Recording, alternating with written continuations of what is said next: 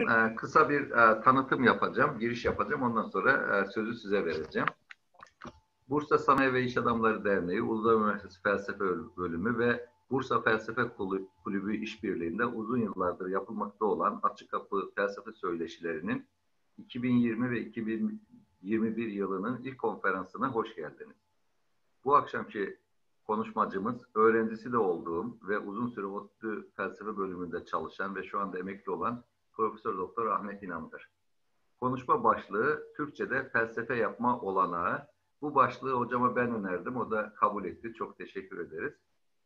Profesör Doktor Ahmet İnan 1947'de Sandıklı'da doğdu. 71 yılında ODTÜ Elektrik Mühendisliği bölümünü bitirdi. 80 yılında İstanbul Üniversitesi Edebiyat Fakültesi Felsefe bölümünde hem e, yardımcı dal olarak eski Yunan edebiyatı, ana dal olarak da sistematik felsefe ve mantık alan, alanında ya da ana bilim dalında doktorasını verdi.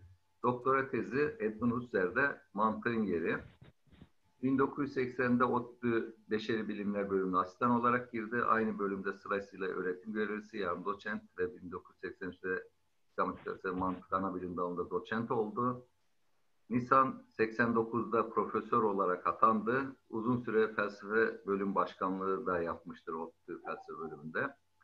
Kendisi mantık, bilim felsefesi, bilgi teorisi başta olmak üzere felsefe tarihi, kültür felsefe, ahlak felsefesi alanlarında çalışmalar sürdürmektedir. Amacı çağımızdaki insanı bilim, sanat, din ve kültür etkinlikleri içinde kavramaya çalışmaktır. Evli bir çocuk babası ve bir de torun sahibidir. Onu da özellikle belirtmek istedim. Birçok yayını var. Sadece birkaç tanesinden bahsedeceğim. Yöntem, Feyreband'ın Yöntem Ayır kitabını çevirmiştir. İyinin ve kötünün ötesinde Nietzsche'nin kitabını çevirmiştir. Ahlakın soy kütüğü üzerine yine Nietzsche'den çevirim. Gül, Gülden ile Hoca e, bir e, yayını. Edmund Husserl felsefesinde mantık. E, yine baktığımız zaman ararken edebiyat yazıları, düşten düşünceye, sinema akımları derleme olarak, Filiz Neredesin roman, Keşiş, Cinler ve e, Tanıklar, e, yine e, Teknoloji Benim Neyim Oluyor diye bir kitabı, Dünya Gönülden Gönüle ve e, daha çok var. E, ben hepsini almadım. E, hocamın e, çok sayıda yayını olduğunu söyleyebilirim.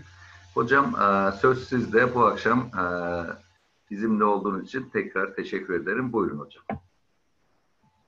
Hoş geldiniz. Ben de hoş geldim. İyi akşamlar. Genellikle e, eskiden beri şöyle bir yargı yaygın gibi gözüküyor. İşte Türkçe ile bilim yapılamaz, Türkçe ile felsefe yapılamaz. Şimdi bu yargı eskiden vardı. Yani ben öğrenciyken 40 sene önce. Yenilerde de çıktı çünkü gençler yabancı dil öğrendikçe ya Allah Allah bizde bu yok. Bu sözcüğün karşılığı acaba ne olabilir? E demek ki bizde e, Almanca'da olan, İngilizce'de olan, Fransızca'da olan e, birçok felsefe terimi yok. Dolayısıyla hele eski dilleri bilen yani Farsça ve Arapça bilenler için işte bunun Arapçada dokuz karşılığı var, Türkçe'de bir tane bile yok. Türkçe'de bunu nasıl söyleriz gibi eleştirileri e, veya yargılamaları kötümser bir biçimde yapılabiliyor. Ve bu da genellikle e, Türkçe düşünmeye çalışan insanımızı üzen ve e, kendi dilini, kendi kültürünü küçümseyen bir karamsar bir hale sokabiliyor. Ben tabii bilimle ilgili bir şey söylemek istemem. O ayrı bir belki konuşma konusu ama bilim alanında da bilim insanları e, kendi dallarında sözlükler hazırladılar. kimi bilim insanları e, çok güzel Türkçe terimler kullanıyorlar. E, dolayısıyla işte bir e, deprem e, bilim insanı var. Ahmet Övgün soyadını hatırlayamadım belki bilen söyleyen olabilir. E, işte örneğin o e, bilim insanı çok güzel Türkçe konuşuyor, inanılmaz. Şimdi arkadaşlar, Türkçe ile e, düşünülemez savı kendisinin ana dilinin Türkçe olduğunu e, kabul edip ama ana diliyle çok fazla e, ilişkisi olmayan, ana dilini yaşamamış, ana dilini özümsememiş, ana diliyle türkü söylemeyi, şarkı söylemeyi, masalları, bilmeceleri, e, destanları, şiirleri, edebiyatı çok fazla irdelememiş, onları tatmamış, onlarla yolculuk yapmamış, hep kendi diline uzak kalmış, belki küçük yaşlarda yabancı dil öğrenip o dille düşünmeye alışmış, ee, yabancı dil bilme, bilmediği halde kendi diliyle tanışık olmayan, kendi dilini deyim yerindeyse tatmamış. Çünkü dili tatmak diye bir tat var arkadaşlar. Mesela Fransızlar bunu çok iyi yaparlar. Yani akşam yemeğe gittiklerinde, yani Paris'e gittiğinizde giden arkadaşlar gözlemlemişlerdir. Otururlar saatlerce yemek yerler ve yemek sırasında yaptıkları konuşmalara baktığınızda büyük bir coşku ve o Fransızcanın müziğini tatmanın hem konuşan hem dinleyende büyük bir sanki e, bir konser dinliyormuş veya bir tiyatro seyrediyormuş gibi o dilin kendisinden lezzet alma e, inceliği ve beğenisi var. Dilin bir zevki vardır arkadaşlar. Böyle ızdırap çeker gibi insan dili konuşmaz. Dilin bir tadı vardır. Ama bu giderek tabii hazin bir şey daha söyleyeyim. İşte Türkçe öğretmeni, edebiyat öğretmeni olduğunu söyleyen genç arkadaşlarla konuştuğumda çok üzülüyorum. Çok kötü yetişmişler. Yani iki cümleyi doğru dürüst kuramadıkları gibi yazılarında da o kadar kötü bir Türkçe var ki belki e, dil bilgisi yanlışları yapmamaya, yazım yanlışları yapmamaya çalışsalar da tatsız bir Türkçe. İşte benzer sözcükler, bir garip batılının kakafoni dediği öyle kötü sözler, tekrarlar, e, tuhaf, çarpık, çurpuk e, tümceler. Yani demek ki bu arkadaşlara dilin dil bir insan kendi dilini nasıl tadar? Dil zevki, dil beğenisi nasıl gelişir? Öğretilmemiş. Onun yanında sayıları az da olsa işte şiirle uğraşan, edebiyatla uğraşan, deneme yazan, öykü yazan, e, başarılı gençleri de görüyorum.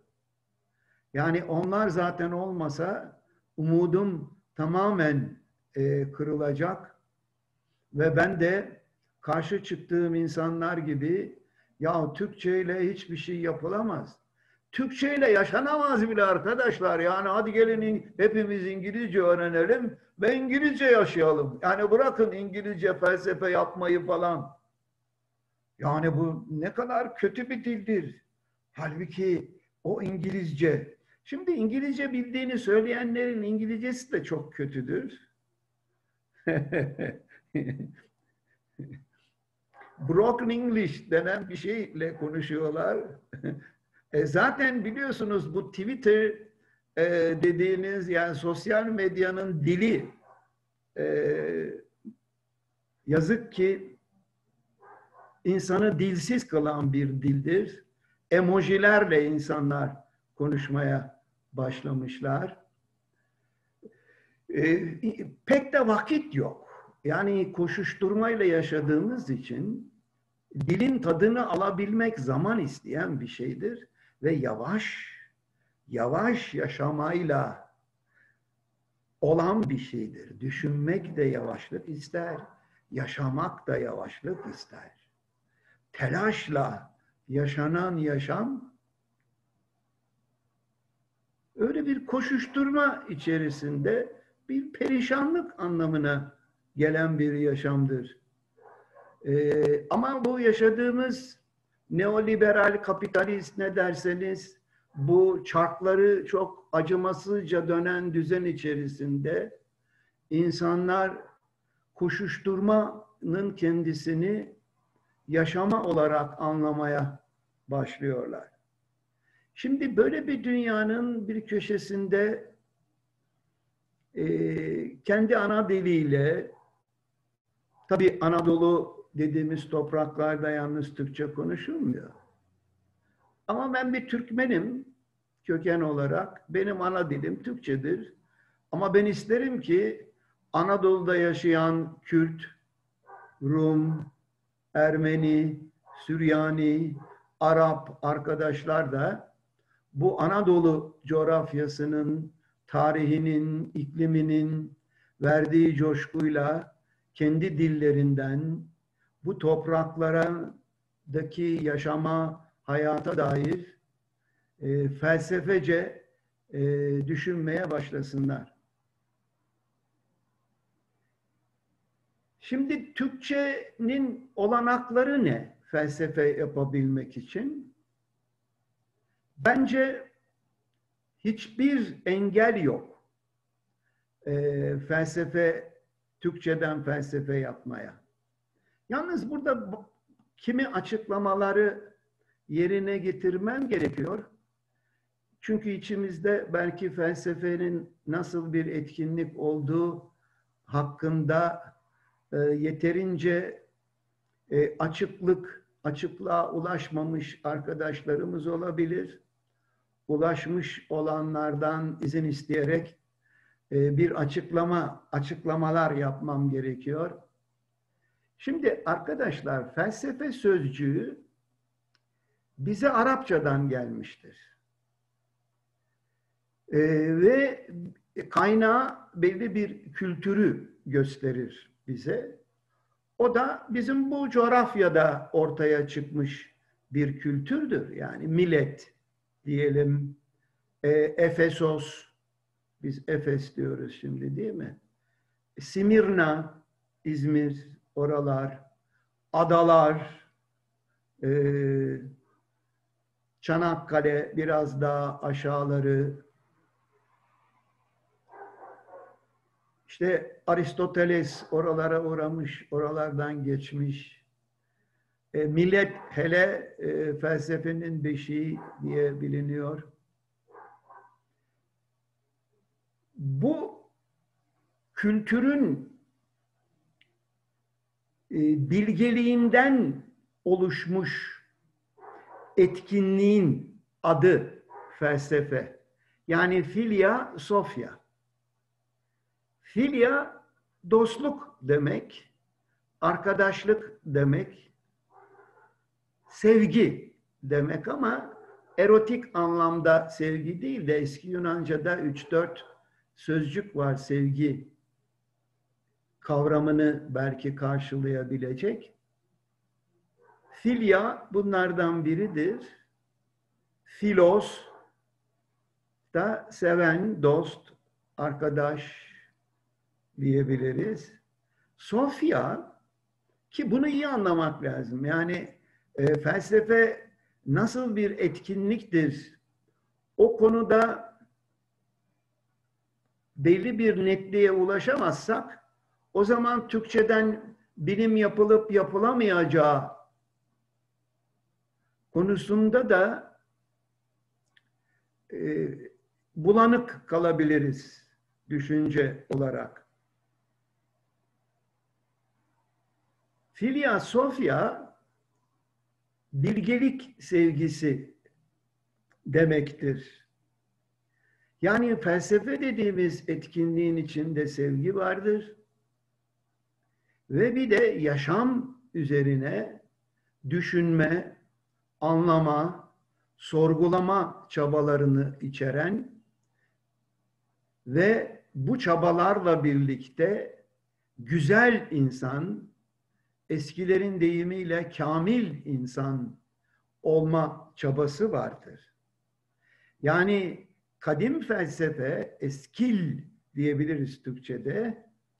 Ee, yani eski Yunan, Roma, e, Hint, Çin, Mezopotamya, Mısır, e, buralara kadim kültürler e, dersek veya eskil kültürler dersek, o kültürlerin hikmeti ve bilgeliği var.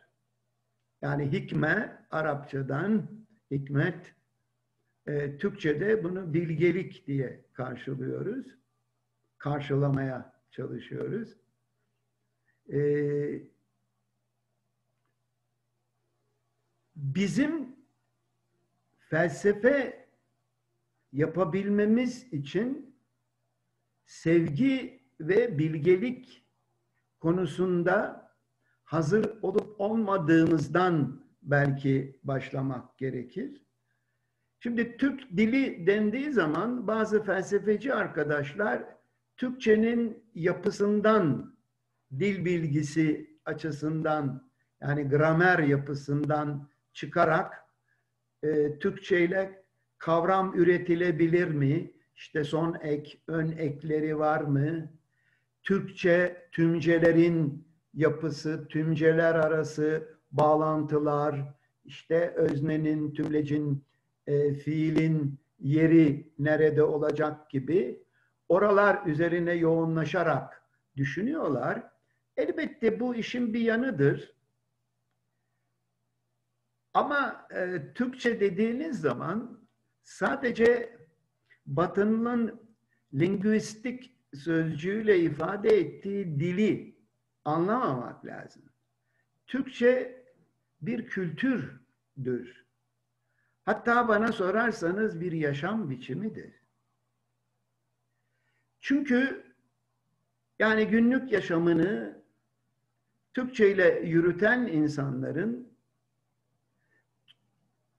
e, Türkçeyi Türkçe ile düşünüp düşünmedikleri, Türkçeyi duyup duymadıkları sorusu hep beni yoran bir soru olmuştur. Çünkü dil duyarlılığı düşünen insanlarımızda yeterince oluşmamışsa bu insanların düşünmeyi yürütmeleri e, çok kalıplara bağlı, çok memurca, çok algoritmik, çok teknik deyim yerindeyse oluyor. Çünkü dilleri, dili duymak gerekir arkadaşlar. Yani evet ben liseyi bitirdim, Türkçe okudum, çok da iyi kompozisyon yazardım, çok güzel öyküler yazarım. Bu değil. Hani Türkçem çok iyidir. Ana dilim Türkçe dediğiniz zaman ha demek ki mükemmel, yetkin bir şekilde Türkçeyi biliyorsunuz. Yok. Hani çoğumuzu sınava soksalar herhalde tabii sınavı kimin yapacağına da bağlı olarak kalırız belki. Yani ana dilim, dil duyarlılığımızın çoğumuzun olmadığını kendimi de katarak söylüyorum. Gerçi ben e, aklım sıra yazan, çizen bir insan olarak. Ama eski öğretmenlerimi düşündüğüm zaman müthiş bir şeydi. onlarda olan. Arkadaşlar, türküleri, türkü, türküyü duymayan, küçümseyen masallarımızı, bilmecelerimizi, destanlarımızı fark etmeyen ama yurt dışında okumuş gelmiş veya buralarda sözde edebiyat alanında işte prof murof ne olunacaksa en yüksek akademik dereceleri almış ama ruhsuz ruhsuz yani öğretmen olmuş ama dilinin dil duyarlılığına sahip olmayan insanlar var. Ve bunların yargıları belki Türkçeden Türkçeden felsefe yapabilmek için Türkçe ile yaşanan yaşamı duymak gerek. Yoksa Türkçe dil bilgisi öğrenerek Türkçe, efendim Türkçe terimleri nasıl türetebiliriz? Yani böyle çalışmalar var. Hani bir takım teknikleri öğrenirsek, hani terim türetebiliyorsak demek ki felsefe yapabiliyoruz. Olabilir mi? Felsefe yapabilmek, felsefe yaşamakla olan aklıdır.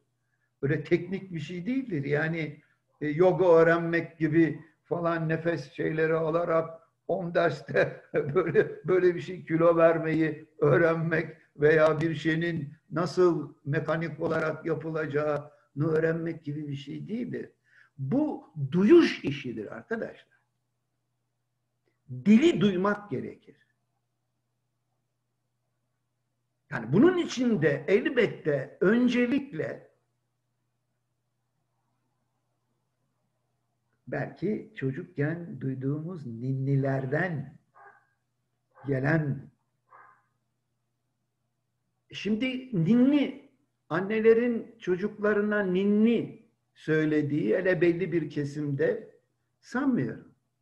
Ninni bilen annelerin ninni ninni değil de şimdi belki elektronik bir şeyi kurup belki onu çalıyor olabilirler. ya ninniyle gelen bir dil var ninniyle gelen bir tarih var. Ninniyle gelen bir hayat tarzı, yaşam biçimi, gelenek var. Ninniyle gelen bir iz var. E sen onu o çocuğun kulağına küçük yaşlarda vermezsen o da Türkçe ile mi? Türkçe de dil mi ya? Bırakın Allah aşkınıza. Yani bu Türkler Öyle göçebe biliyor musun? Hep böyle göçmüşler, göçmüşler at sırtında. Dil yok, bir şey yok. İşte İran'dan almışlar adı Farsça, Selçuklu ama onun dili zaten Farsça. Osmanlı zaten ne konuştuğu belli değil böyle bir. Türkleri hep etrakı bir idrak diye dalga geçmişler. Türk olmak yani Türk böyle cahil, ee, hiçbir şeyden anlamaz e, çiftçi e, veya savaşçı eline kılıcı vereceksin, onu bunu doğrayacak. Şimdi arkadaşlar burada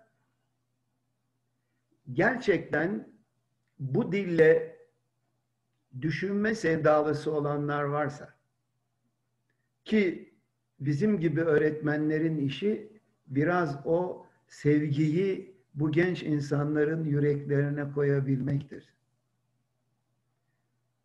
Ben bunda pek başarılı olduğumu söyleyemem. Ha, çabaladım mı? Pek çabalamadım da galiba. Çünkü benim öğretmenlik yaptığım eğitim kurumunun dili Türkçe değildi. Yani bu da garip bir trajedik komik bir şey olabilir. Yani orada ya Türk felsefesi, Türkçe ile yapılan felsefe diye daha böyle 30'lu yaşlardan başlayarak sevgili hocam Teo Bey ile yaptığımız konuşmaları hatırlıyorum. İonna hocayla e, yaptığımız konuşmaları hatırlıyorum. Ya bu Ahmet'in de bir takıntısı var. Yani böyle o zaman Türkçe ile yapılan felsefe demiyordum. Türk felsefesi gibi bir şey diyordum. Teo Bey de diyordu ki ya Ahmet Türk felsefesi denen şey Türk müziği gibi bir şey mi? Türk fiziği gibi bir şey mi?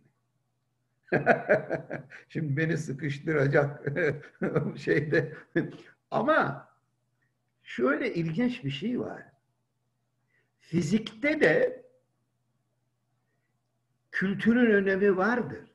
Fizikte de okullar var. Mesela kuantum mekaniğinin tarihine baktığınızda da örneğin oralarda 1920'lerdeki yeni fiziğin açılımında da yani doğa bilimlerinde de doğa bilimi yapan insanların e, doğa bilimcilerin oluşturduğu kümelerin, toplulukların içinde bulunduğu kültürlerin ve konuşan, konuşulan dillerin e, bir şekilde belki felsefede e, olduğu gibi bu kadar etkin olmasa da yeri var. Ama nasıl felsefe yaptığınıza da bağlı olarak dilin hiç önemli olmadığı söylenebilir. Çünkü Leibniz gibi filozoflar örneğin ki Leibniz'in ilk çalışmaları Latince ondan sonra Almanca e, yazmaya başladığı için Almanlar onu işte ilk Almanca felsefe yapıtı e, yazdığı için önemserler. E, Leibniz gibi bir düşünür ki e, matematik ve mantık alanında buluşları olan bugünkü hani kalkülüs diye okuduğumuz eskiden yüksek matematik denirdi. E, o matematiğin mantıksal temellerini oluşturmuş e, bir düşünür ve bilim insanı. Lingua universalis gerekiyor bize. Öyle yani Türkçeymiş, Almancaymış, Fransızcaymış. Ya felsefe evrensel değil mi kardeşim? Evrensel. Bilim evrensel değil mi? Bilimin tek dili yok mu? Ne o? İşte matematik. Yani şimdi bilim böyle şeyle mi çalışıyor? Yani e, sen Fransızca kendi kafana göre e, bilimsel betimlemeler yapacaksın. E, laboratuvardaki bulguları kendi dilinle, kendi anlayışınla yazacaksın. Alman başka yazacak, Japon başka. Yok. Bunların gayet evrensel bir dil oluşturulmuş. E, sağlam bir matematiksel dil belki doğa bilimler alanında. Sosyal bilimler alanında da özeniliyor böyle bir ortak dilin. işte eğer istatistik veya matematiksel modeller kuruyorsanız e, ekonomide filan bu daha da kolay olabilir. Bir evrensel dil var. E felsefe de evrensel değil mi? E o zaman ne demek yani Türkçe felsefe? Böyle bir şey olabilir mi? Evrensel. Şimdi bu bir argüman tabii. Yani bu bir sav. Elbette tartışılabilir. Evrensel bir dil, bir ortaklık olmalı yoksa birbirimizi anlayamazdık. Yani Alman Fransızı, Fransız e, Japon düşünürü, ne değil mi? E, İngiliz Almanı anlayamazdı. Çeviri yapılamazdı. Demek ki yapılabildiğine göre bir ölçüde tabii tam olmuyor ama bir ortak dilin olduğu söylenebilir. Ama arkadaşlar o ortak dile siz kendi yerelliğiniz ve kendi biricikliğiniz noktasından katılıyorsunuz. Kendisini Almanya'da İngiliz sanan öğretmenlerim olmuştur benim. Veya öyle arkadaşlarım, öğrencilerim de var. Yani gidiyor yurt dışında bir şey öğrenip geliyor. ve onu sat, satıyor ölünceye kadar ve o dili içinde yapabiliyor.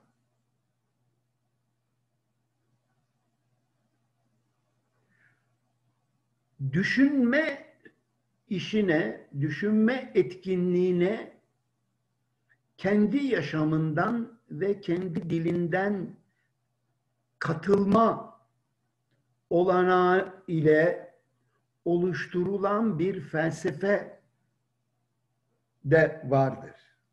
Yani eğer siz bilimlerin felsefesini veya mantık gibi daha soyut alanda felsefi ürünler verecekseniz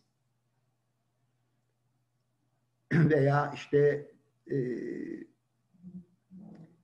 bilişim alanında yahut yapay zeka alanında daha teknik alanlarda çalışacaksanız o zaman yaşam biçiminiz, e, diliniz, kültürünüz oluşturacağınız felsefede çok da önemli bir yer tutmayabilir. Bunu anlarım ama felsefe arkadaşlar bir çeşit felsefe. Bakın felsefe deyince çok farklı yollardan ürete, üretiler, üretilebilen yapıtların ve o yapıtları üretmek için etkinliklerin toplamını anlıyorum. Tek bir felsefe anlayışı hiç felsefeye yakışan bir şey değildir. Bazı meslektaşlarım öyle anlarlar.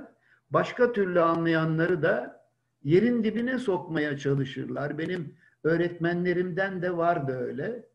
Kendisi felsefeden ne anlıyorsa diğer anlayışların yanlış olduğunu söylerler ve saldırırlardı. Bu felsefeye hiç yakışmayan bir yoldur. Benim Türkçeden felsefe yapmayı özlediğim felsefe bu toprakların da yaşanan hayatı felsefece dile getirecek felsefedir. Hayat, yaşanan hayat çok değişik biçimlerde anımsanabilir, ortaya konabilir. Filmi yapılır, resmi yapılır, heykeli yapılır, karikatürü yapılır, şiiri yazılır, öyküsü, denemesi, romanı yazılabilir ama felsefesi de yapılır.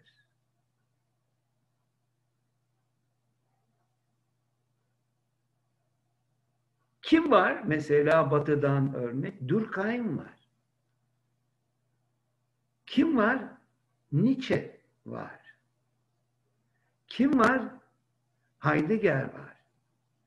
Kim var? Jean-Jacques Rousseau var. Deleuze var, Guattari var. Bir şekilde Derrida var. Frankofon kültür için düşünürsek Foucault var. Bunlar kendi dillerinden ve kendi yaşamlarından bakarak kavram larla dile getirilen yaşantıları ortaya koymaya çalışıyorlar. Bizse onları çeviriyoruz. Aa Şişek diye birisi var ama ne kadar güzel yazmış ya. Çevirin çevirin. Şimdi Fransa'da çok satan felsefe kitapları nedir? Getirin onları hemen çevirin. Almanca'da ne var? İngilizce'de ne var? Çevirin. Çevirin ne? Sen kendi hayatını çeviriyorsun bu yana. Senin hayatın yok ki.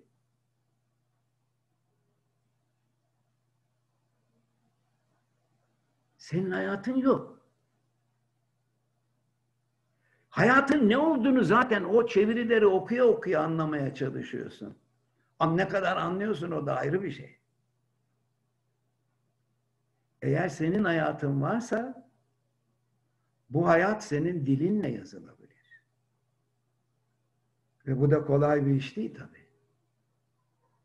Çünkü orada kim olduğunla nasıl düşündüğün arasında ayrılamaz bir bağ var ve o seni isteyen bir şeydir. Orada kopya çekemezsin. Orada teknik kullanamazsın. Orada yalan söyleyemezsin. Orada oradan buradan keserek konuşamazsın. Bize böyle sahici insanların bu topraklarda yaşanan yaşamı yazabileceği diller gerekir. Ben tabi Anadolu sevdalısı biriyim arkadaşlar. Ve Anadolu'yu Türkçe ile anlatmaya çalışan biriyim. Yani bunu edebiyat olarak da yaptığım olur çoğu zaman. Ama felsefeyle de yaşam anlatılabilir, yaşanan.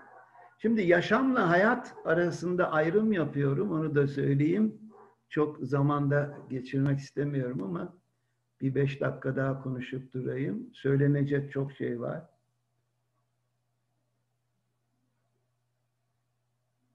Yaşam ölmemek için yaptığımız işlerden oluşuyor. İşte para kazanmak, evimize ekmek getirmek.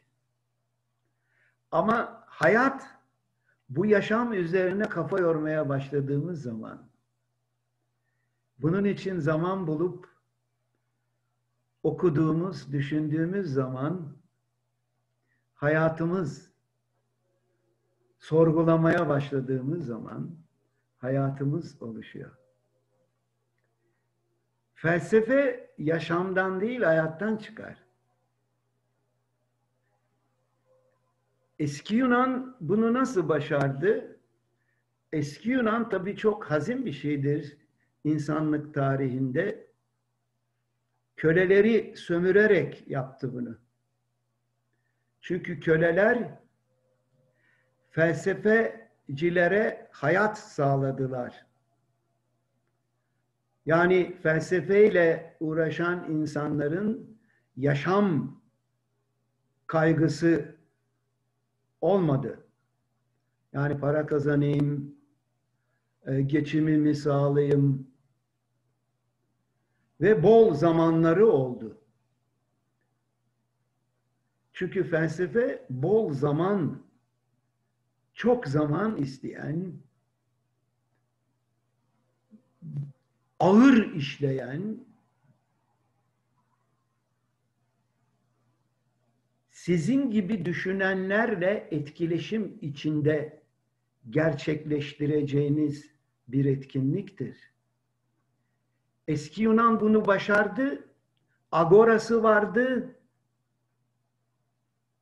Orada düşünen insanlar sürekli konuşuyorlar, tartışıyorlar. Gimnazyumları vardı yani çıplaklar evi. Orada spor yapıyorlardı spor yaparken konuşuyorlardı, tartışıyorlardı. Palaistraları vardı, güreş evleri. Orada çırılçıplak yağlanıp güreşirken de birbirlerine belki elense çekerken de konuşuyorlardı. Konu çok konuşuyorlardı. Çok etkileşim içindeydiler birbirlerini değerek konuşuyorlardı. Peki konuşmalarını sağlayan neydi? Homeros. Homeros. Dil, dil. Kim Homeros? Ozan. Dil oluşmuş. Şiir var. Şairleri var. Tragedya var. Komedya var. Şiir var. Onlar olmazsa felsefe olmaz. E, Türkçenin edebiyatı müthiştir arkadaşlar. Yani Nobel falan aldık o ayrı bir hikaye ama ben onun Türkçeden aldığımızı sanmıyorum. Yani o ayrı bir hikaye. Yani Nobel'i tanık göstererek bak bize de edebiyat. Onu demek istemiyorum. Türkçeden hakikaten dünya şiirine e, katkı sunabilecek, o şiirde etkili olabilecek şairlerimiz, öykücülerimiz, romancılarımız olduğunu düşünürüm. Dolayısıyla hem gelenek olarak hem dil olarak edebiyat altyapısı olarak Türkçe ile düşünmek için olanaklarımız hazırdır. Ve Türkçe düşünmeye açık insanlar az da olsa vardır. Böyle insanlar yetiştirmeliyiz. Nedeni de şudur. Ya yaşadığımız hayat yorumlanmazsa, anlamlandırılmazsa, değerlendirilmezse, derin düşüncelerle eleştirilemezse,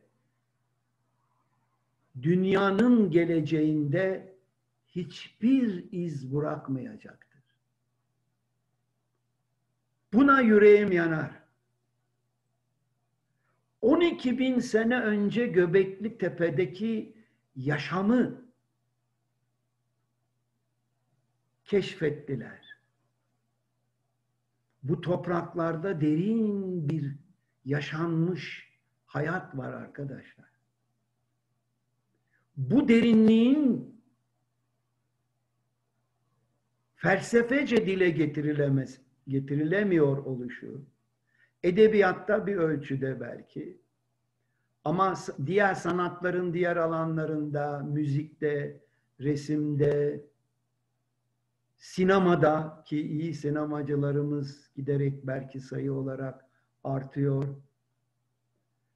Yaşamımızı yorumlamamız, yaşa, yaşadığımız yaşamın hayatı anlatmamız, manalandırmamız, buraların, buralardan insanlığa katılabilecek olanı katmak, evrensel olana bu topraklardan katılabileceği katmak gerekir. Bu bizim eğer kendimize aydın, işte münevver, entelektüel, ne diyorsanız düşünür. En büyük sorumluluğumuzdur. Bunu yapmayıp işi sığ düşünceli siyasetçilere bırakırsak düşünce alanında, kültür alanında izimizin kalacağını sanmıyorum. Çünkü bu alanda güçlü olanlar dünyanın tarihini yazacaklardır. Bizim düşünürler, yazarlar, sanatçılara katkılar sunmamız gerekir. Yazık ki böyle bir ortam giderek ülkemizde de dünyada da bana sorarsanız kaba sığ yöneticiler yüzünden giderek ortadan kalkmaktadır. Onun için gençlere hepimizin bu kapıyı açması gerekir. Bu hayatımızın, yaşanan bu hayatımızın yorumunu yapmalarını istemek gerekir. Felsefeciler bunu felsefece yapacak. Müzisyenler ki böyle çok iyi müzik yorumcuları, bestecilerimiz var. Barış Manço'yu düşünün örneğin. Değil mi? Hani büyük kompozitörlerimiz de elbette onlardan da söz edebiliriz ama hani bir popüler olarak. Türkçeyi o kadar güzel duymuştur ki Barış Manço. Yani orada orada bizim yaşayışımıza mesela sarı çizmeli Mehmet Ağa dinliyorsunuz. Bir şey var orada arkadaşlar. Bakın o Barış Manço'nun dilinde bizim e, Türkçe konuşanların, Türkçe'ye sevdalıların duyabileceği derinlikler ve incelikler var. Ne bileyim kendisi belki etnik olarak Türk olmayan e, Cemal abimin, Cemal Süreyya'nın değil mi? Yaşar Kemal'in Türkçelerinde ne büyük zenginlikler ve incelikler var. Bu duyarlılığı büyük bir sorumluluk olarak gençlerimize aktarmak gerekir. Anlatmak, taşımak gerekir. Ancak o zaman bu dille düşünülür, bu dille bilim yapılır, e, bu dili duyan e, insanlar derin edebiyat yapıtları, sanat ürünleri ortaya koyabilirler. Benim şimdilik söyleyeceklerim ima olarak konuşabildim. E, bu kadar. Eğer siz açarsanız biraz galiba bir beş dakikamız mı var Kadir? Öyle bir şey herhalde. Evet. Evet ses açıldı. Çok teşekkür ederim hocam. Çok güzel bir konuşmaydı. Hatta benim birçok sorumu da cevapladınız bu arada. İlk soruyu ben alayım. Sonra diğer arkadaşlardan varsa soruları alalım. Ee, hocam şimdi e, baktığım zaman antik Yunan'a sizin dediğiniz gibi bir ozanlar çağı var. Homeros, Hesiodos ve ondan sonra bir dil gelişiyor, bir sanat gelişiyor. Sonra felsefe çıkıyor.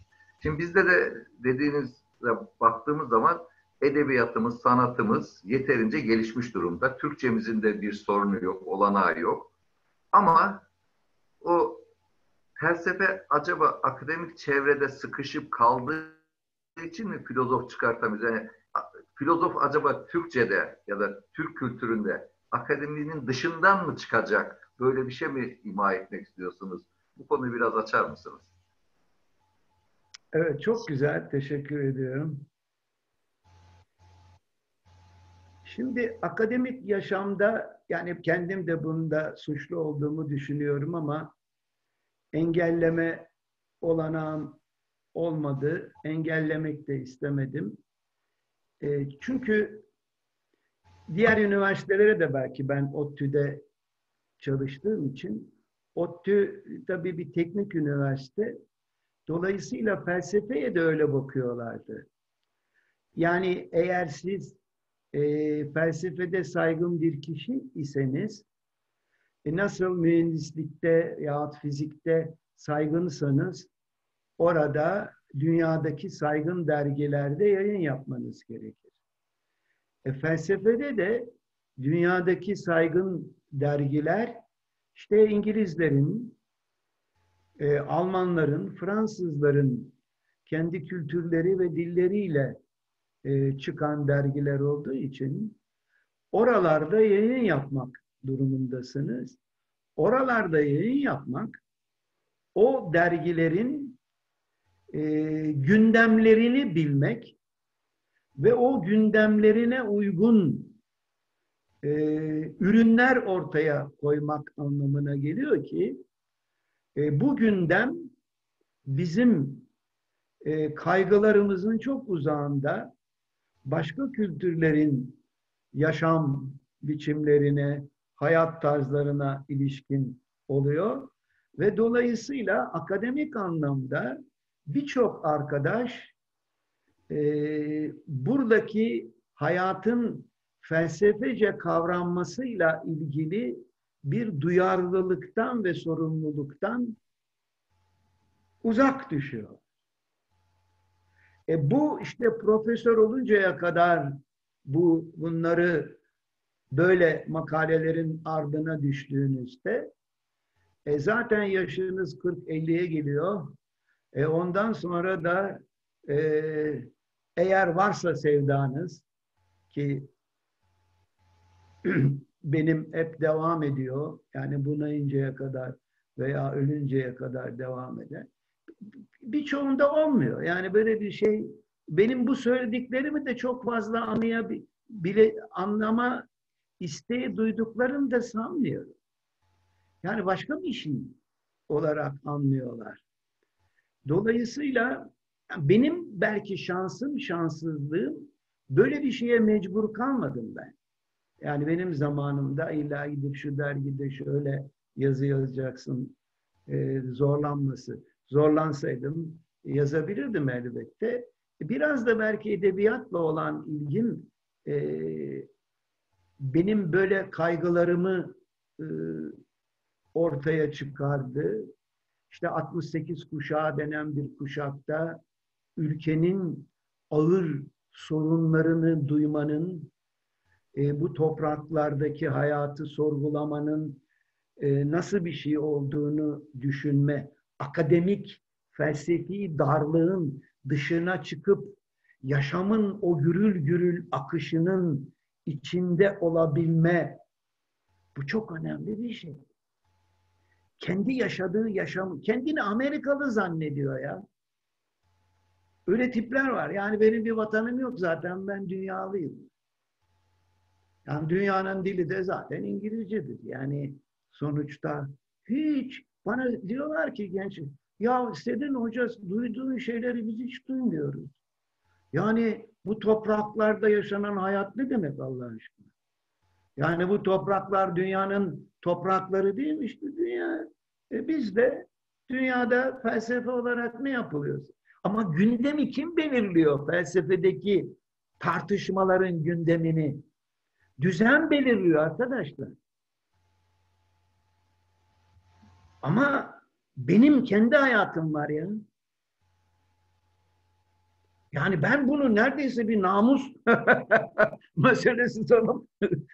Namusumu korumak için çifteyle vuracağım neredeyse. Böyle bir şey değil ama yani ben bunu Nietzsche'den giderek Nietzsche'yi anladığımı 40 yıldan beri Nietzsche okuyor okuya belki bıyıklarım da benziyor de tam benzemiyor yani benimki e, çiftçi Mehmet Ağa bıyığı belki de o anlamda ama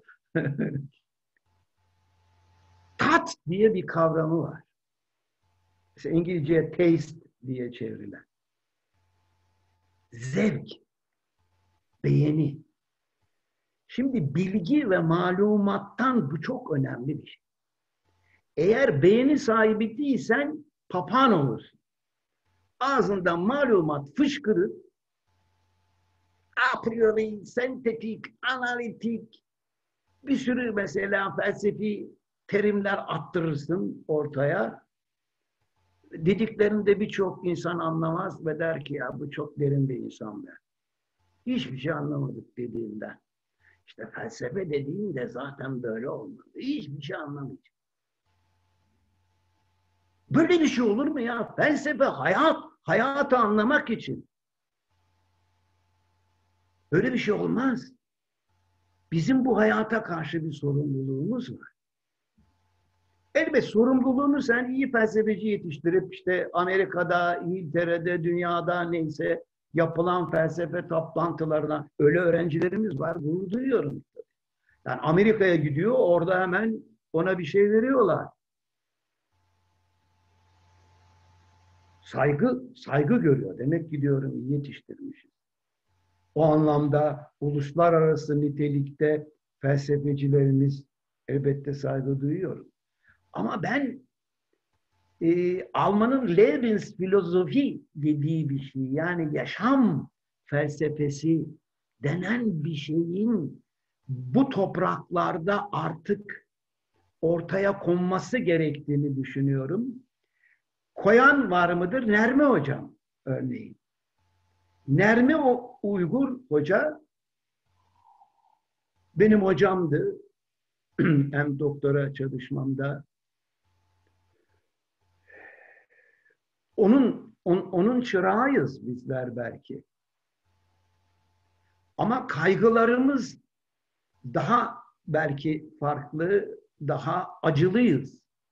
Nermi Hoca belki o açıdan ilklerden olduğu için Türkçeyi çok iyi kullanırdı, birçok yabancı dili ve son derece hakimdi.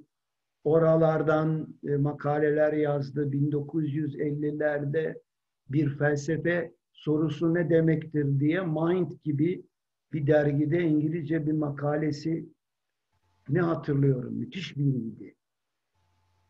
Ve ana dilin ile kavramaya çalıştı yaşamı. Bunu yapmalıyız. Bunu yapmak demek çok yerli olmak demek değildir. Yani bunu da böyle anlamamak lazım. Yani çok fazla yerli. Yo, yani ben bir Almanla, bir İngilizle, bir Fransızla bu konuları e, tartışabilirim. Bu buradan felsefe yapılmalı bir hamaset veya dar kafalı bir milliyetçilik gibi bakılmamalı. Evrensel olana bu toprakların hayatı da evrensel olanda bulunmalı. E, tanımıyorlar bizi. Çünkü hayatımızı anlatamıyoruz da onun için. Yani felsefece yorumlayabilme olanağımız. Öyle ürünler ortaya koymalıyız ki arkadaşlar, bir İngiliz bizim Türkçe yazdığımızı, ben Türkçe için konuşuyorum, kendi diline çevirmeli. Aa demeli ki ya bak bunun İngilizce'de karşılığı yok. Türkçe'de böyle denmiş ama acaba buna İngilizce'de ne diyebiliriz? Hep böyle bir özlemim olmuştur. Çünkü buradan insanı duyuyoruz. Ben buradan duyuyorum. Yani kendimi bir dünyalı, yani dünya zaten bir küredir falan filan hikayelerini çok tehlikeli bulduğum için o müthiş emperyalist bir kötü bir dayatmadır. İyi, dünya bir köydür, sen de muhtarsın. İyi, iyi, iyi bir numara. Yani e, dolayısıyla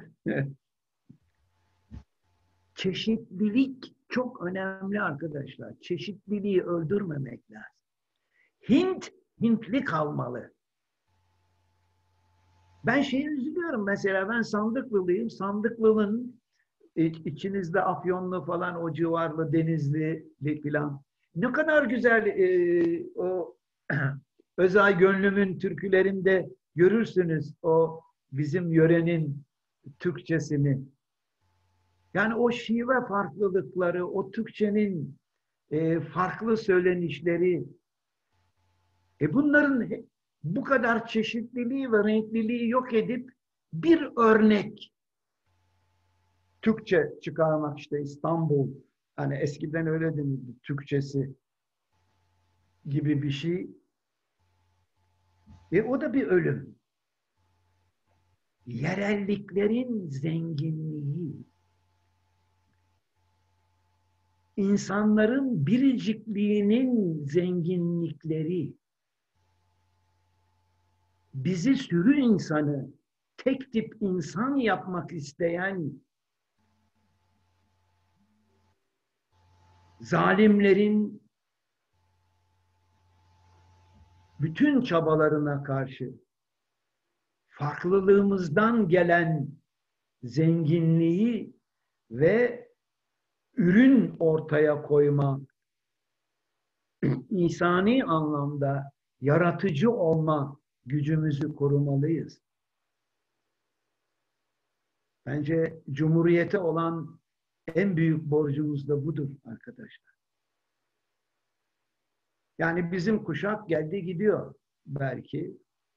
Ama çok ilginç bir kuşaktır. Hani 68 kuşağı denen. Ben de en civcivli zamanında e, birçok hadisenin içinde bulunmuş, onlara tanık olmuş, acı çekmiş bir insan olarak uzaktan belki yani e, işkence görmedim, hapis yatmadım falan ama birçok arkadaşımın oralardan geçtiğini böyle bir ülkümüz beklentimiz vardı. Dünya daha güzel olabilir. Bu dünyanın güzel olabilme savaşımı, mücadelesi Türkçeden, Türkçe duyarak felsefece yapılabilir. Dediğin gibi Kadir, bu akademik, şimdilik akademik sınırlar içinde çok olanaklı gözükmüyor. Onun için bazılarınıza tuhaf gidecek, gelecek. Mesela ben yaptığım şeyleri yüzlerce yazı yazdım. Hala da yazıyorum. Hepsinin felsefi olduğunu söyleyemem ama yaşam üzerine düşünülmeye çalışan çalışan yazı parçaları olarak anlayabilirsiniz. Ben kendime düşün ozanı diyor. Düşünür de demiyor. Çünkü belli bir yöntem, e, belli bir kalıp içinde düşünmek istemiyor. Şiirle ozan olmakla, ozanlık bizim kültürümüzden işte eski Yunan, Homeros da bir ozandı. Oradan gelen bir şey yaşamımızın üzerine değişik yollardan düşünebiliriz. Henüz başlamadığı için herhalde ben göremem yaş olarak. Ama bizler her konuşmamda söylüyorum omuzuz. Yani genç arkadaşlar bu omuzlara basarak eğer ilgi duyuyorlarsa bu topraklarda yaşanan hayatın e, tarihini, anlamını, yorumunu bütün dünyaya anlatacak şekilde kendilerini yetiştirmeliler. Yoksa hani 3-5 grup e, e, kişilik gruba işte bir dergide veya bir internet sitesinde e, öyle yüzeysel şeyler attırıp etraftan da bak ne kadar güzel yazdın gibi e, kendin çal, kendin oyna değil. Dünyaya açılmalıyız.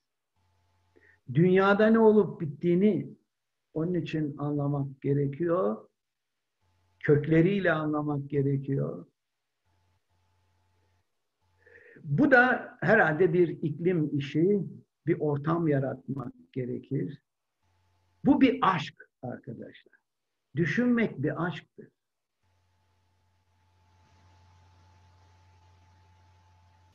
Yani bu içinizde bir ateş yoksa olmaz. Öbür türlü işte düşünmek lazım. Düşüneyim de bana işte 3-5 kuruş versinler. Geçineyim. O bir memurluk o. Düşünmek bir aşk. Nereden biliyorum? Sokrates.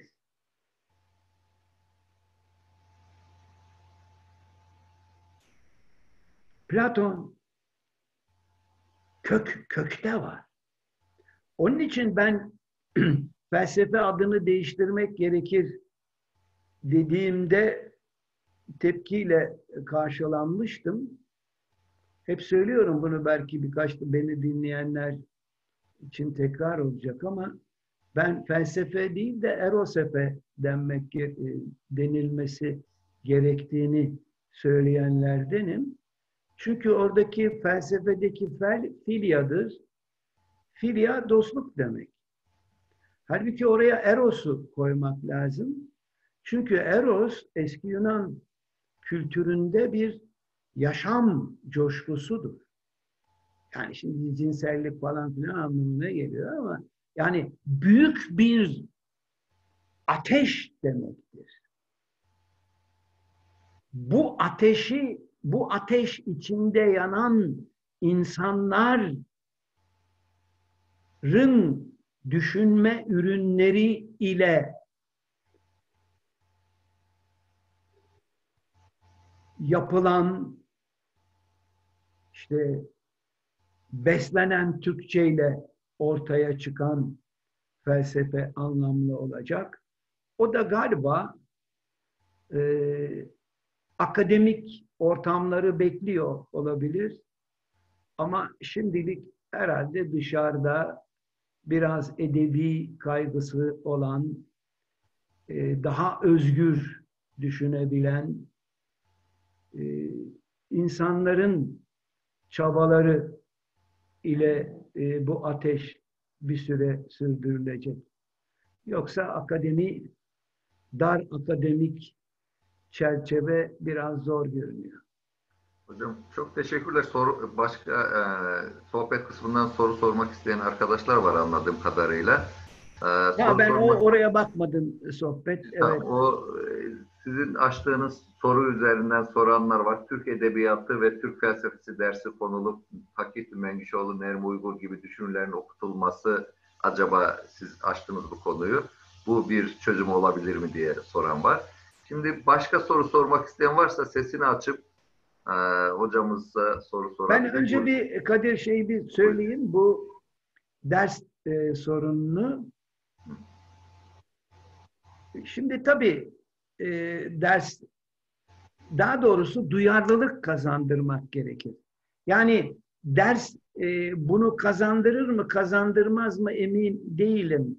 Çünkü ders sözcüğüne karşı tuhaf bir şeyim var. Böyle beni e, şey yapan, geren bir sözdür ders. Ders Türkçe değil biliyorsunuz. DRS kökünden geliyor Arapça. İşte müderris, tedrisat falan gibi medrese gibi şeyler. Onun için ben e, ders yerine öğrence e, sözcüğünü severim. Eğlence gibi bir çağrışımı da olduğu için e, hoşuma e, giden bir sözcüktür. Şimdi elbette Takiyettin e, e, hoca e, da ilginç bir hocadır. Onun da e, e, Almanya'da edindiği bir felsefe tarzını e, sonuna kadar işlemeye çalışmış. E, kendi anlayışında, belli bir dil anlayışıyla bunu anlatmış saygın biriydi. Şimdi ders koyarak bunu sağlayabiliriz belki ama derste o kimin vereceği önemli, nasıl verileceği önemlidir. Bunları çok mekanik hale getirmemek gerekir. Bir şölen, Türkçe düşünme şölenleri oluşturmak gerekir. İşte burada yardımcı doçent bilmem doktora, yüksek lisans falan gibi ıvırın dışında e ne bileyim bir ortaokul mezunu da olabilir. Bir saz şairini de getireceksiniz. Bizim o hala öyle saz şairlerimiz var. Yani onun bir bakın Türkçesine ya. Onunla bir konuşun. Yani ne bilgeler var. Hala henüz yok olmadılar şükür. Bir türkü dinleyin ya. Bedir Rahmi abimi biliyorsunuz ne söylediğini. Yani türküleri dinleyince diyor şairliğimden utanıyorum. Öyle müthiş şeyler var ki arkadaşlar.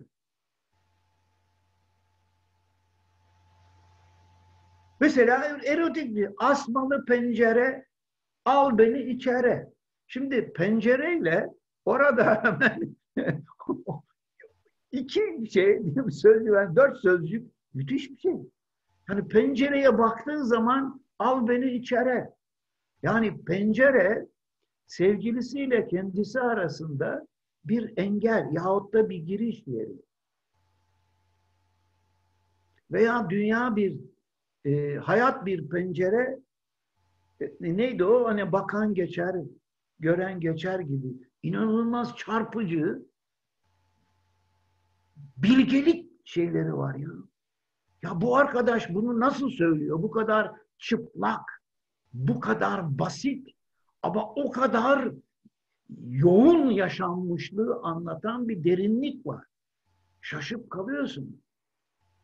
Yani binlerce uydurup böyle terminoloji dolu anlatımların yerine işte Yunus okuyun örneğin. Yani oradaki Türkçeyi gördüğünüz zaman şaşılası bir büyü var ortada. Şimdi eski Uygur metinlerinde arkadaşlar tın diye bir sözcük var. Beni çok etkilemişti. İki yıl önce o öyle metinlerin e, bir bölümüne ulaştım. Yani Türkçenin gerçekten bir derinliği var. Bunlar tabi İslamiyet'ten önce yazılmış Budist metinlerdir, Türkçe metinlerdir. Tın, felsefeciler onu tin diye almışlar ve Almanca'daki Geist sözcüğünün e, veya İngilizce'deki spirit sözcüğünün e, karşılığı olarak kullanmışlar. Tın, ben ona tın diyorum çünkü yaşamın tınladığını görüyorsunuz. Yani orada bir yaşam kökü, yaşam çekirdeğini anlatan bir sözcüktür. Türkçe tın dilidir. Tın, tın dilidir. Türkçe düşünmek o tın dilinin ne yolculuk yapmak, tın dilini duymakla olanaklıdır. Yani Nermi hocamın bunu duyması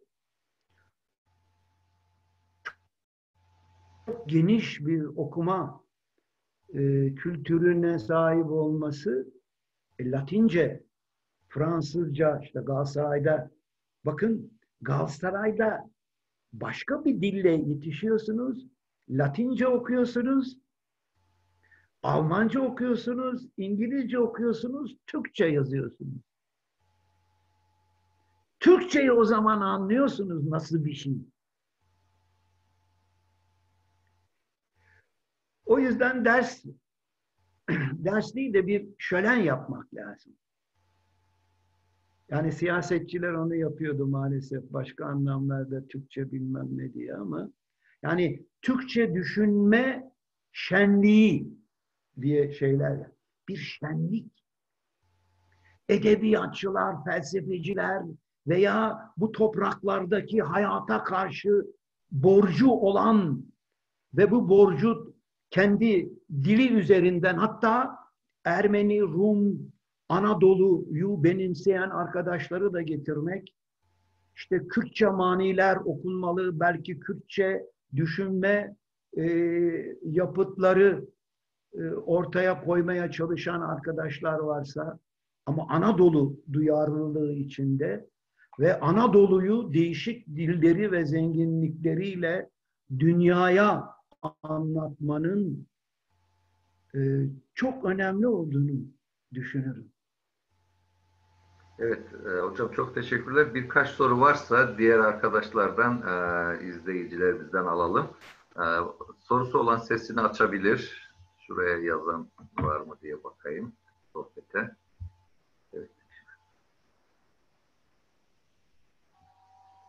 Sesler kapalı mı Deniz Hanım? Sesi açabiliyor mu arkadaşlar? Evet. Açabiliyor olmaları lazım hocam. Hemen Evet. şey yapalım. Soru sormak isteyen sesini açıp Problem hocamıza. e, yaşayan biri olursa chatten bana ulaşabilir. Ee, Sesim geliyor mu acaba? Evet geldi. Buyurun. Merhabalar. Teşekkürler Ahmet Hocam güzel sunumunuz için.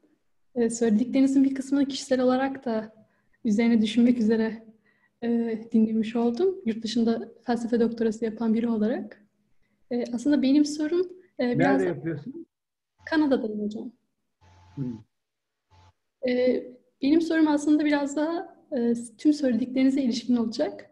Ama daha net hale getirebilmek için çok kısaca bir hemen deneyimimi paylaşacağım. Sonrasında eminim Ahmet ettir. Ee, bir herhalde 5-6 sene önce bir bilim felsefesi dersinde e, bilimsel araştırma yöntemleri üzerine İmre Lakatoş isimli bir matematikçinin söylediklerini anlatmaya çalışıyordum. E, bir kavramı var, hardcore diye. E, bunu nasıl e, izah edebilirim diye düşünüyorum. İmre Lakatoş değil mi? Evet, evet hocam. İmre Lakatoş mu dedin? Ha, evet, felsefecidir. E, aynı zamanda evet, Macar kökenli, evet. E, bu kavram aslında şöyle Türkçeleştirme gereği duyan bir şeydi. Bahsederken bir bilimsel teorinin içerisindeki aslında değiştirilemez temel e, kavramsal yapıyı özetlemek için kullanılıyor. Mesela işte Newton fiziğinde kütle çekimi gibi. Hmm. Şimdi bunun bir şekliyle evet. hem e, temel oluşturduğunu hem de e, eleştirilere dışarıdan gelecek eleştirilere karşı bir e, savunma hattı teorinin kendisini çekmesi gerektiğini açıklamam gerekiyor. Bir türlü uyuşamadık öğrencilerle ne demek istediğimiz konusunda. Dedim çelik çekirdek gibi düşünebilirsiniz. Şimdi bana kalsa hardcore'u çelik çekirdek çok iyi karşılıyor. Çünkü hem bir çeliklik var işte e, sağlamlık açısından korunması gereken değer gibi. Bir de çekirdek zaten korun birebir aslında Türkçe'ye kazandırılmış hali. Temelde için özünde bir sağlamlık belirtmesi gerekiyor. Ama o anda kimseyle anlaşamadık. Çünkü sanıyorum ki e, bu biraz daha aslında e, siyasal ya da toplumsal örgütlenmeleri bilen ya da onların içerisinde yer alan insanların daha kolay e, rezonans sağlayabileceği diyeyim, uyuşabileceği bir kavram. E, bu bir anlamıyla bana aslında göstermiş oluyor ki biraz önce konuştuğumuz bu akademik çevreler içerisinden herkesin anlayabileceği ve sözlerini e, anlamlandırabileceği bir felsefeci çıkar mı sorusuna belki felsefecinin kendisini, akademinin içerisindeki felsefecinin kendisini sadece kendi disiplinine bağlı kalarak ya da sadece kendi okuluna, kampüsüne bağlı kalarak e, yaptığı, ürettiği değerlerin dışına çıkmaya itmek de bir çözüm olabilir. Yani sosyal hayatın içerisinde bizzati bulunarak, belki oralardan örneklerle e, yapacağı felsefeyi de ona içkin hale getirerek çabalamak da ya da çabalatmaya itmek de, önermek de bir çözüm olabilir diye düşündüm. Siz ne düşünürsünüz hocam?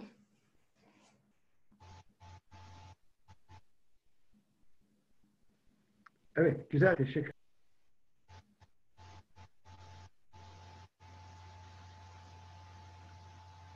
Hocam ses gelmiyor sizden. Şimdi.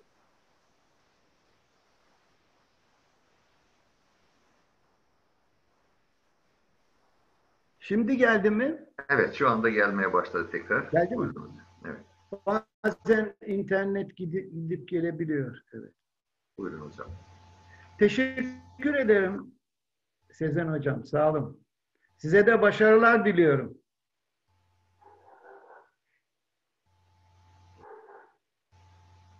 Sesim geldi mi Kadir? Geliyor sesiniz hocam.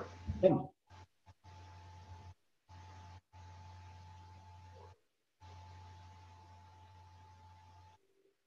Evet, başka var mı? Evet, hocam başka soru var mı diye soruyor. Soru sormak isteyen açabilir.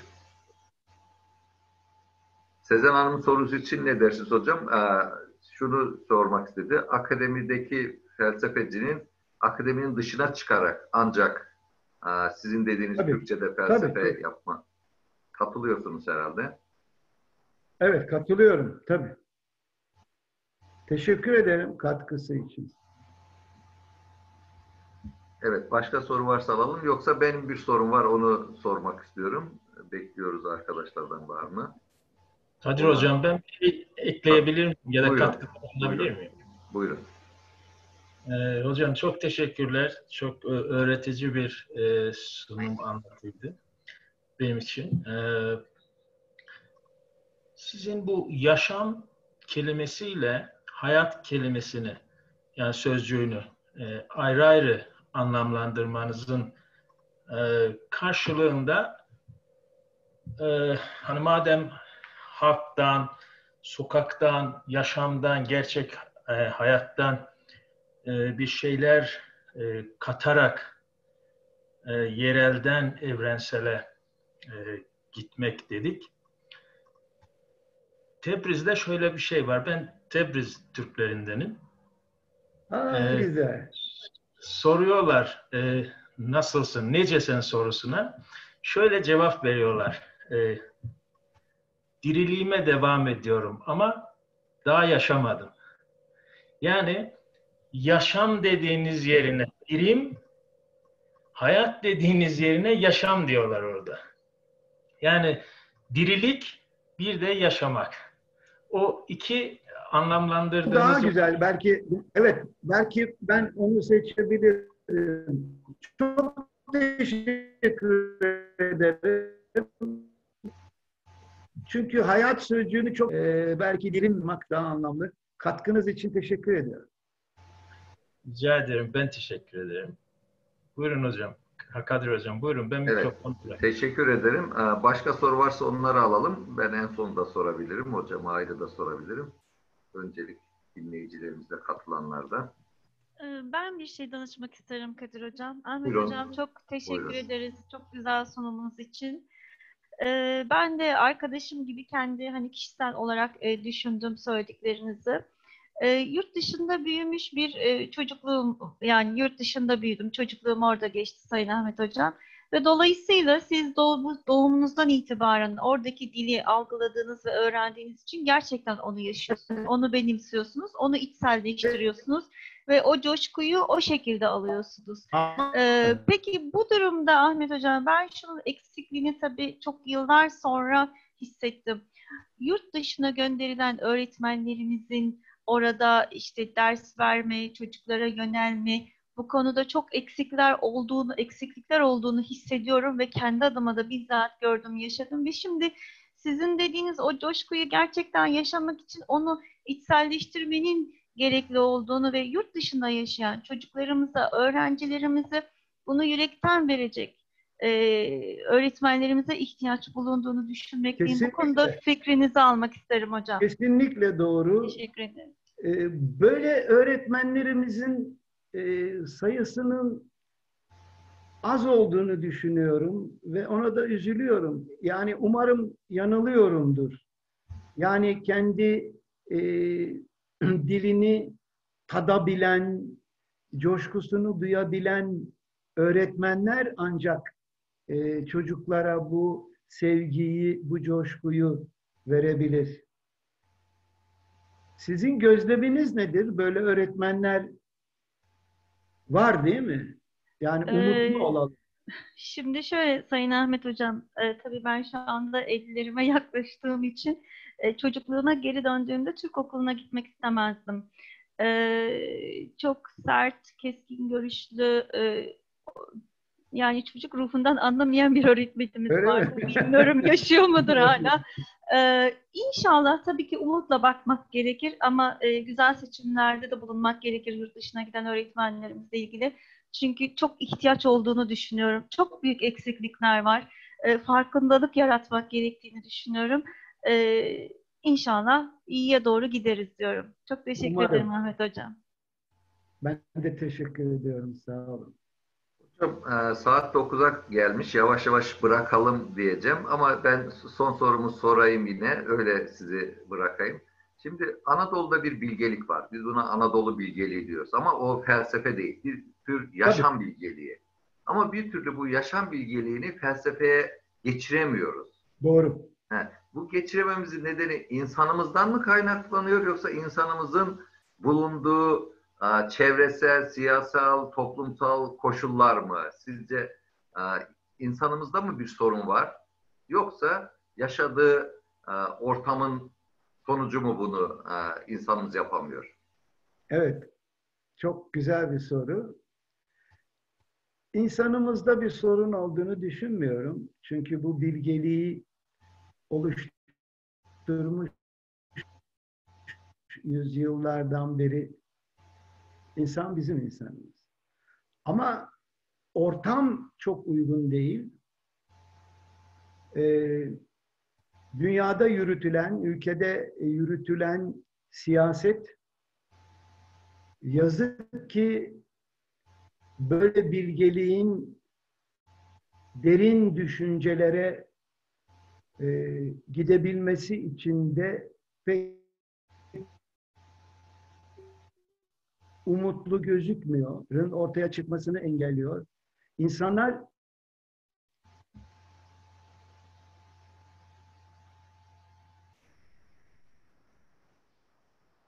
sosyal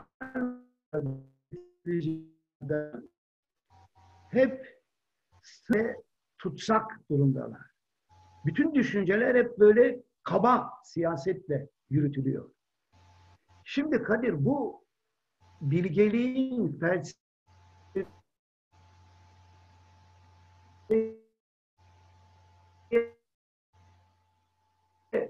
e, dökülebilmesi bu duyalı insanlar e,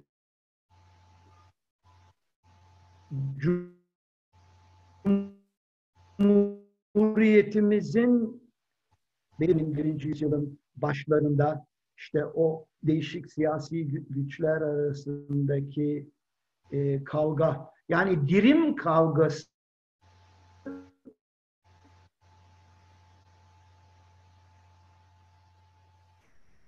yaşam ben şimdi arkadaşının e, sözcükleri kullanıyorum. Yani e, bizim buraların insanı hep bir ayakta kalma, e, var olma kaygısı. Osmanlı'nın çöküşü, savaşlar, Cumhuriyet'in kuruluşu. E, e, şimdi dingin düşünme ortamlarına ve düşünme şenlikleri yapabileceğimiz Anadolu e, tınını e, yani geistini, spiritini duyabileceğimiz ortamlar yaratmamız gerekir. Bu bakın akademide de olabilir, akademi dışı da olabilir. Türküyle olabilir, tiyatroyla olabilir, mizahla olabilir. Çok e, cin düşünceli e, ne diyelim ateş gibi çocuklarımız var.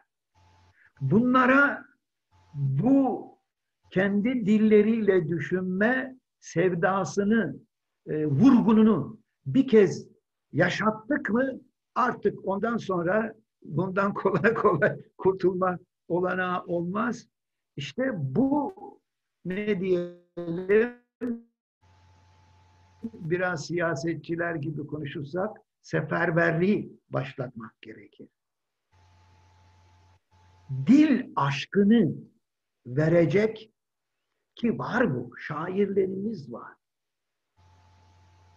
Ta Osmanlı'nın başında yani Mehmet Akif'i, Yahya Kemal'i yani ne bileyim bizim hece şairlerini okuduğumuzda o şeyi duyarsınız. Yani Cumhuriyet'in ilk dönemi daha önceki Osmanlı'nın son dönemleri büyük bir şey var veya halkın kendi içinden gelen e, çok temiz, saf bir Türkçe var. İşte Yaşar Kemal onu bulmuş, onu işlemiş, onu yoğurmuş. Şairlerimiz onu bulmuş. Çok uzaklarda yaşamasına rağmen Nazım Hikmet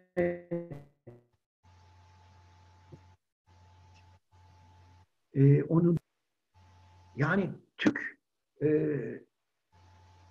Türkçenin Türkçenin vurgunu diye bir şey. E, yani Türkçenin e, çarpması gibi bir şey. Belki benzetmem yerinde olmadı ama Yani Türkçeyi bir elektrik gibi düşünürseniz yani onun sizin bedeninizden e, geçmesinin e, bu sevgiyi, bu tutkuyu sürdürmekte önemli olduğunu düşünüyorum. Evet hocam çok teşekkür ederiz. Ee, Sizi yorduk. Bir buçuk saati geçti. Ee, Türkçe'de Yok, felsefe yapmanın olanağı üzerine konuştuk.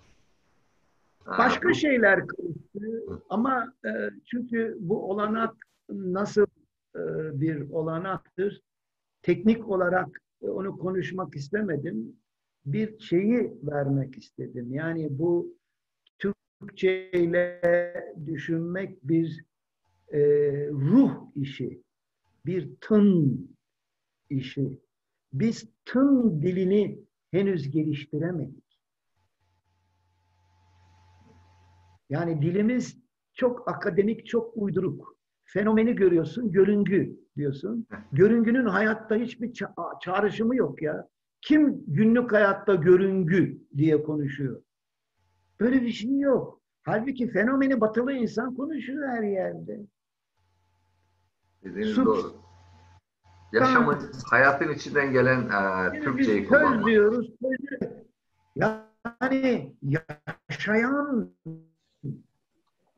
ya düşünmek yaşamaktır arkadaşlar. Bir defa bu, bu bir tavır işi. Halbuki biz düşünmeyi hiç kendi üzerimizde hayatla ilgisi olmayan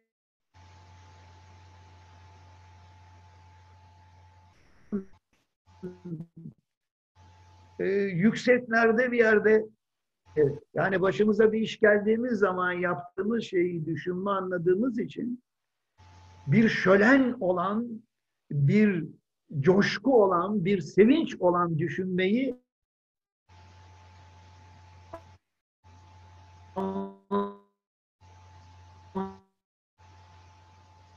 zorlanıyor. İnsanın bir derdi var. Ne düşünüyorsun ya? Oluyor. Evet hocam. Bir an dondunuz. Ee, Sesiniz gitti hocam. Hatta e, düştünüz şu anda. Ee, Ses gelmiyor. Görüntünüz de gitti. İnternet problemi. verdi. Evet hocam. Ben kendi görüntümü görüyorum ama Evet. e, Son e, bir 10-15 saniye ses ve görüntü gitti. Tekrar geldi şu anda. Ee, Hocam yavaş yavaş bitirelim. Sizi de çok yormayalım. Bursa Sanayi İş Adamları Derneği adına, Uludağ Üniversitesi Felsefe Bölümü adına ve Bursa Felsefe Kulübü adına çok teşekkür ederiz. İlk e, konuşma, konuşmayı sizle açtık. Bize onur verdiniz. Bir sonraki konuşmamız yine Kasım ayının 3. Perşembesi olacak. Orada görüşmek üzere. Herkese iyi akşamlar diyorum. Hocama tekrar teşekkür ediyorum. olun, sağ olun. Sağlıklı kalın hocam. Kadir, hocam ayrılmadan ayrılmadan Buyurun. herkes resmini gösterebilir mi? Bir fotoğraf alalım. Evet, Ekran- öyle diyelim. Evet. Herkes Bütün felsefe dostlarımızın evet. Herkes açarsa, kamerasını açarsa Evet, toplu bir resim alınacak. Kameralarımızı açalım arkadaşlar. Hep birlikte bir toplu fotoğraf alalım istiyoruz.